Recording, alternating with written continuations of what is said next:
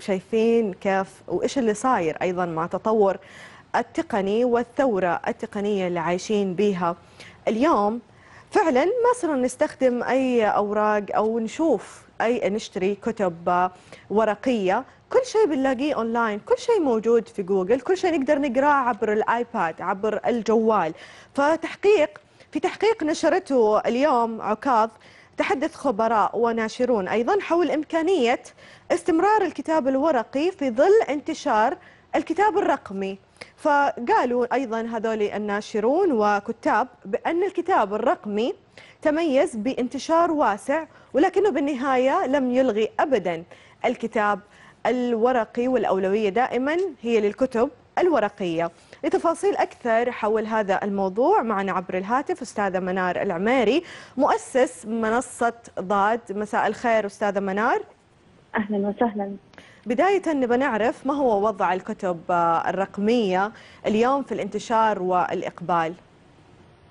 طيب آه علشان نقدر نحدد آه أو نتكلم باختصار وتحديد أكثر آه تقارير زي كذا في جرايد يعتمد دائما آه على مين السامبل اللي سووا عليهم هذا التحقيق أو مين اللي راحوا سألوهم علشان يتأكدوا إنه هل نجح أو فشل أو في انتشار أو لا.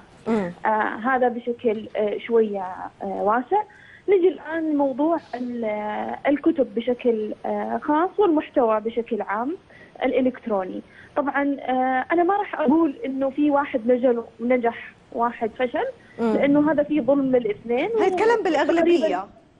لا ما في شيء اسمه أغلبية ولا في حاجة نقدر نقول واحد فشل وواحد نجح. إحنا نتكلم على إحنا عندنا في العالم العربي فقط 500 مليون نسمة ما نقدر نقول والله أغلبيتهم يبغوا إلكتروني وما نقدر نقول أغلبيتهم يبغوا ورقي لأنه حتى الإلكتروني في أكثر من وسيلة في الفيديو في الصوت وفي اللي هي ال e-books اللي تقرأيها زي كأنها كتاب. فما نقدر نحدد آه أي واحدة بالضبط.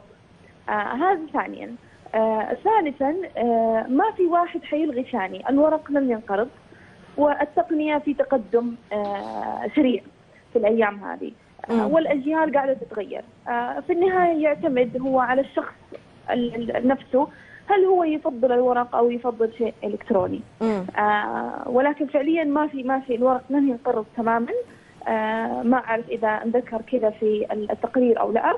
ولكن أيضا زي ما قلت لك المحتوى فيه تزايد كبير على الإنترنت وهذا شيء جدا مفرح وشيء جدا جميل. أيوة. آه لأنه إحنا في, في الوقت الحالي المحتوى العربي لا يمثل ولا حتى 2% من المحتوى على الإنترنت بشكل عام. مم. فلما نقول والله المحتوى في تزايد جدا كبير بس من السنتين الاخيره هذا خبر جدا جميل. طب جميل. منار هل تعتقدي بأن الكتاب الرقمي بالنهاية ممكن يزيح الورقي في المستقبل القريب مع ضعف انتشار وأيضا التوزيع والنشر؟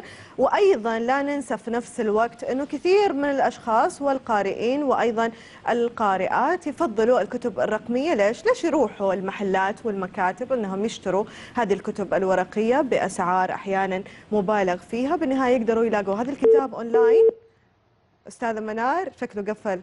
الخط علينا حنرجع نتصل عليها. بس أنا بقول لكم وجهة نظري في هذا الموضوع أتوقع أنه أيضا ممكن الكتب الرقمية تزيل الكتب الورقية. ليش؟ لأنه أغلب الكتب بتكون موجودة أونلاين يعني كل شيء نقدر نقرأ ونحن في بيتنا وبدون تعب وما نروح على أغلب المحلات اللي ممكن نشتري منها هذه الكتب وأيضا بدون أي مقابل مادي.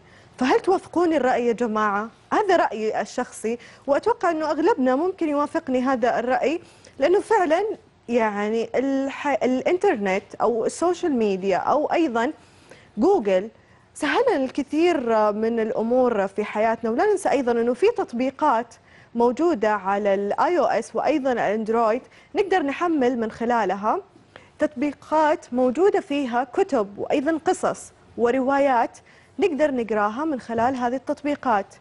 ف رايي إنه ممكن هذه الكتب الورقية تندثر بعد فترة معينة وأتوقع أنه في الوقت الحالي أغلب الناس ممكن يوافقوني هذا الرأي. ونحن أكيد مشاهدينا مكملين معاكم بفقراتنا وكيف تحولت عادة شرب القهوة في أمريكا إلى مشروع في جدة. حيكونوا معنا إن شاء الله بعد الفاصل.